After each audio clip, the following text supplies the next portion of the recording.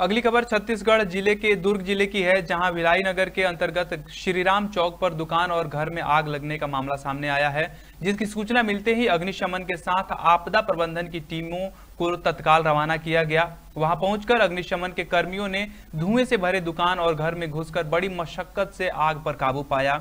बता दें कि दो अग्निशमन वाहन के पानी की मदद से आग को काबू में किया। फ़िलहाल आग लगने का कारण अज्ञात बताया जा रहा है।